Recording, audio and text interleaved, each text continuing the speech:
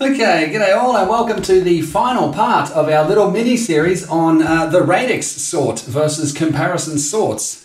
So in this final part, we're going to have a look at some uh, some code. Yeah, some real code for a radix sort and a comparison sort. The comparison sort that I've selected just here is quicksort. The code for both the radix sort and the quicksort that we're about to see is uh, actually based on code from Geeks for Geeks, and I'll leave a link up above and another one down below so that you can have a bit of a look at that if you want. We're just going to erase these little sorts and see uh, the kinds of speeds that they can get and then have a bit of a comparison so that we can see uh, as the lists of items increase uh, how the performance of these sorts uh, compares. Just a little bit about the code from the start. What have we got? We've got a whole bunch of things. We've got include vector, we don't need that. stdlib, we don't need that, we don't need that. I was comparing the uh, std sort as well, the standard uh, C++ sort. it was pretty much the same as the quick sort. Yeah, maybe marginally faster. Uh, I think I've read that it uses a, a hybrid sort uh, based on uh, merge sort, I believe, for the STD sort. A little bit about the data that we're going to be sorting. So we're sorting unsigned integers here, and I generate this with my favorite uh, random number generator, George Marsaglia's uh, XOR shift generator. Yeah, so unsigned integers. This is pretty much tailor made for the radix sort. Random number generators are up there at the top. And then down here in the actual code, we just generate a, a list of some number of elements, so 10 initially. Uh, we run through and sort them 10 times with uh, 10 different random lists. Then we just check if the list is actually sorted. That's just debugging. Yeah, I wanted to make sure that the code was actually working, but yeah, that's pretty much all there is to it. Uh, so if we have a look over here at the quick sort code, uh, so once again, this is based on code from Geeks for Geeks. We're not going to be looking at the quick sort in detail, but it pretty much works. Um, you pick a pivot in the middle of your data, and then you put everything less than your pivot to the left, and everything greater than your pivot to the right. And then you know at that point that the pivot is in its correct position. And then you do the same thing with the right hand data. You just pick a pivot in the middle, then you put everything less to the left and everything greater to the right. Uh, it's a divide and conquer algorithm.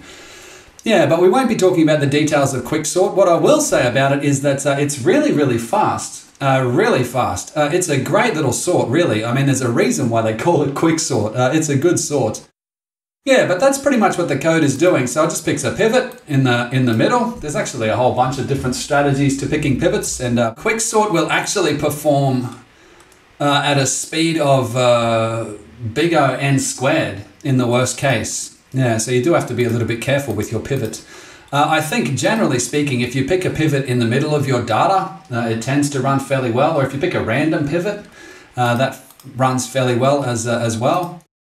Uh, but here's the main, uh, the main part of the quicksort. Yeah, so you actually end up with um, two little pointers over the uh, low end or the left hand side and the top end of your array. You just step them closer to each other, uh, step them closer to the pivot, kind of um, switching items wherever they're um, not on the right side of the pivot. So the inner loop of a quicksort is really quite cool. It's uh, really, really simple. And the other cool thing about the quicksort is that it's actually in place. Yeah, so you don't really allocate any extra data. We've got a couple of um, integers here, these index pointers, i and j, but I mean, there's, there's almost no data allocated at all. Um, so a quick sort uh, will perform, you know, pretty well, really. It's a fast sort. Uh, I think uh, maybe shell sort and merge sort can uh, beat a quick sort sometimes. Uh, but, I mean, if you want to implement just a fast um, comparison sort. Quicksort is often the way to go. Okay, but that is the code to our quicksort. So if we have a bit of a look at the radix sort, I actually changed a fair bit in this. Uh, so I changed the radix to 256 and I removed a function call. Uh, I also used the pointer swapping technique rather than copying the output and input arrays to each other. You just swap pointers. If we step through it a bit, uh, sort of one step at a time, uh, unsigned int output, so this is where we make our output array just there. Uh, this is where we make our little counts array. Yeah, so our radix for this particular code just here is 256. And the reason that I did that was um, in order to get the digits, uh, what we actually do is divide and take the remainder. We do the modulus operator, in other words.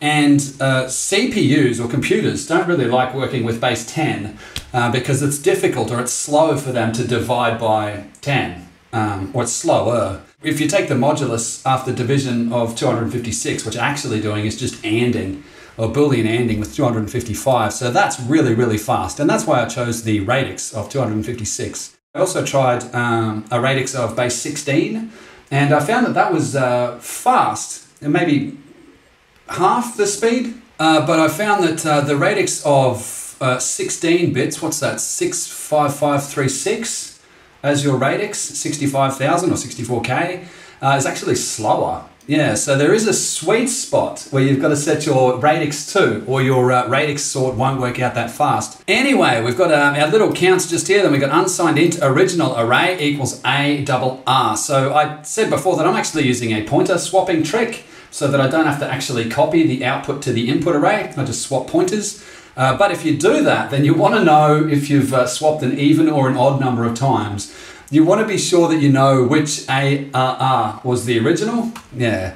Uh, but we do want to make sure that we delete the correct output. Uh, anyway, so this is how it works just here. So for for base 256, if you're sorting any 32-bit uh, unsigned integer arrays, then you need four iterations. And we start out by zeroing the counts, just for i equals 0 to 256, uh, zero the, the counts. And the next thing that we've got to do is store the occurrences of each digit in the counts. And it's this rather strange looking um, for loop just here. And then we've got to do the uh, prefix sum. And that's this next loop just down here. So once again, the prefix sum is just, um, you just move from left to right or from the lowest index to the highest index in your count. And you just maintain uh, a sum as you go. It's pretty simple. Uh, if you haven't watched the previous videos, have a bit of a. This is the third video. This is a wrap up of a three video series. This is a mini series. The series is so mini. All right, build the output array is the next step. So these uh, two steps, building the prefix sum and then using that to rebuild the output array, uh, that was kind of the fiddly part of the radix sort when we're using a counting sort. Uh, but this is how you do it just here. Yeah, so I mean, it's not easy code to read. Uh, and the final bit is that we've got to uh, copy the output array to the input array so that we can uh, proceed to the next iteration. Now, as I said before, I'm just swapping pointers just here like this. Yeah, but you do want to be careful. If you do swap pointers, uh, you have to be careful at the end that you don't accidentally delete the uh, input array. I mean, um, some function is probably relying on that their data staying safe. You just delete it and then return the output array. They might be confused. Um, so that's this last little part down here. If original array equals output, in other words, if we've, if we've done an odd number of iterations, then we've got to perform one final swap before we delete the output and the count and we return with our sorted data. But that, my friends, is a base 256 uh, radix sort. Let's have a little bit of a look at some time here. Okay, so here we go. This is quick sort, sorting 10 elements. Let's see how many milliseconds it takes.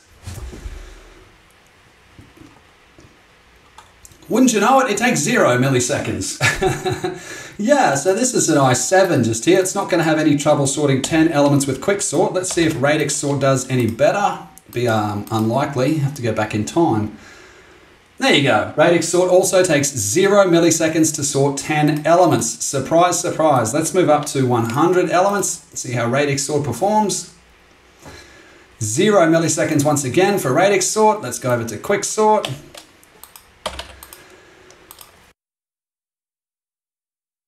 100 elements takes 0 milliseconds for quick sort. Let's see 1000 elements. Oh, oh. quick sort took 1 millisecond just then. Yeah, that's pretty interesting. 1000 elements. This is a sorted list down here. It couldn't quite figure out to set 31, 6 come before that. I don't really, and then it took 1 millisecond. All right, fair enough. Let's go to radix sort and see if it can do uh, 1000 in 0 milliseconds. Ooh, look at that. Zero milliseconds across the board for radix sorts. So far, so far they're both taking pretty much no time at all to sort lists of 1,000 unsigned integers. Let's move up to 10,000 unsigned integers. Ah, there you go. Okay, so it's a little bit hit and miss, but about half of the time, quicksort is taking one millisecond to sort these lists of 10,000 elements. Let's have a look at radix sort. So this is about the uh, point where the radix sort starts to beat the quick sort uh, in terms of speed. Uh, okay, so you can see just there that radix sort is also starting to take some recorded time. So it took one uh, millisecond there on one of those iterations. Now, something else I think we should point out, actually I might point it out in the next one. Uh, okay, so that's 10,000 elements. Uh, quicksort and radix sort are almost even, though quicksort is taking a little bit longer. All right, let's have a bit of a look at this. So I'll just run this first of all, and we'll see this is 100,000 elements quicksort sorting. Uh, okay, so quicksorts took, what's it, about maybe six milliseconds at the lowest, six or seven milliseconds. Uh, but something I do want to point out about Quicksort is if you look over here, um, Visual Studio is actually providing us also with the amount of RAM that the algorithm is taking. So it says here that this Quicksort algorithm uh, program, this is a whole program, uh, is taking 980 kilobytes. Yeah, so if we just stop that, I'll just delete that and we run our radix sort, this is radix sort, sorting 100,000 uh, unsigned integers. Six or seven is the time to beat, and would you look at that? It's taking one or zero uh, milliseconds uh, for this radix sort to sort 100,000 unsigned integers. But uh, if you remember, the quick sort was taking a little bit less than one megabyte when we just looked at the RAM. The radix sort is taking about two megabytes. Um, so you see that, um, yeah, you don't get anything for free. Uh, radix sort might be faster than quicksort for these large lists, but it also takes more memory. It's always a bit of a trade-off there. Okay, so that is 100,000 elements. We just moved up to 1 million elements now. Let's see how quicksort performs. Uh, there we go. So it's starting to take a noticeable amount of time. I think 71 milliseconds is the minimum there. Uh, 71 milliseconds to sort a list of 1 million unsigned integers is honestly, that's pretty quick. Really, that's pretty quick. Uh, the quick sort is, it's, it's a heck of an algorithm, really. It's a fantastic algorithm. Uh, but at radix sort for 1 million elements. Would you look at that? Um, it's like seven times faster or something like that. Um, just much, much faster. Yeah, so even at 1 million elements, the radix sort is much, much faster. And we can actually move up to, say, a billion elements and sort it without too much trouble using the radix sort. I think this takes something like 12 or 13 seconds. Um, the RAM usage over there is 8 gigabytes. So, I mean, this is not mucking around. uh, there you go. 12 seconds to sort 1 billion elements on a little laptop. Uh, the radix sort is fast. I tell you what, it it flies. It really flies. Um, there you go. It's only just a hair over 10 seconds. Uh, okay, but we stop that for a second. Um, if we have a bit of a look over here, I've actually got a little chart where we've um, sorted these different numbers of elements without all of the screen recorder and things like that going so that we can compare these things. So for 1000 elements, both of the sorts performed at about zero milliseconds. Then for 10,000 elements, the quicksort performed at maybe one millisecond. Uh, 100,000 elements, the radix sort performed at one millisecond. The quicksort at about six times that, took about six milliseconds, etc., etc., etc. So as you look down this chart just here, what you can see is that the radix sort uh, more or less adds, I guess, 10 times each time. So it's linear to the number of elements. Yeah, so for 100 million elements, the radix sort took something like uh, 1.05 seconds. And if we multiply the number of elements by 10, then the speed that the radix sort functions is something like 10 times um, what it did.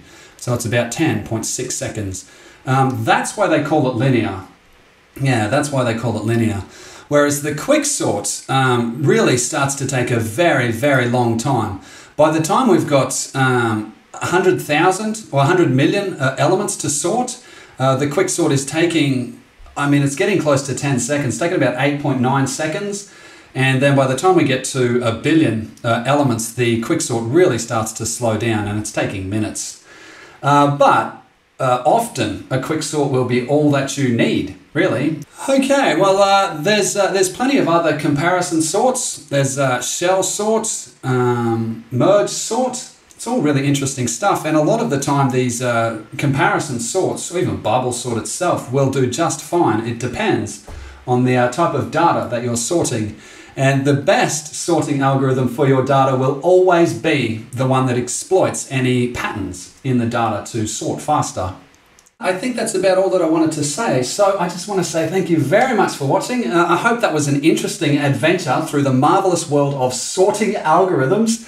Uh, why is Radix sort so fast? Um, it doesn't use greater than and less than. It's not a comparison sort. It uses digits. and uh, yeah, that's probably got something to do with it. Anyway, thank you very much for watching and have a good one. Adios.